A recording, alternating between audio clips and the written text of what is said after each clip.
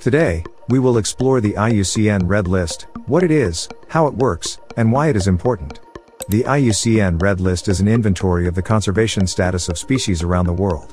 It is managed by the International Union for Conservation of Nature. The list assigns over 150,000 species into nine categories that indicate how close a species is to becoming extinct, ranging from least concern to extinct.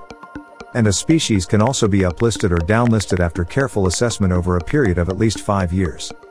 Let's take a look at a few examples.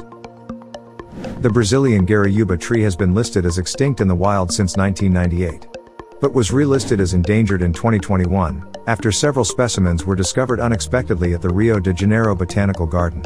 Dugongs are large sea mammals that move slowly in shallow waters once mistakenly known as mermaids by sailors.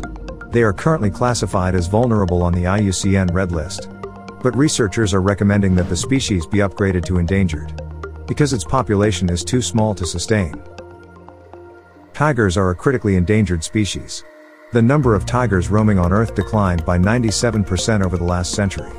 Starting in 1973, the Indian government made efforts to conserve tigers, designating 53 tiger reserves, covering nearly 70,000 square kilometers. With those efforts, the country's wild tiger population has reached more than 3,000 in 2023, more than double compared to 2006. The IUCN Red List is like a barometer that helps to identify which species are at the greatest risk. The story of the Indian tiger is a sign of hope that species diversity can be preserved through human efforts. All living beings share the same earth and are connected. And protecting endangered species means protecting our own lives. You can visit the IUCN website and check out which species in your nearby area requires urgent conservation action.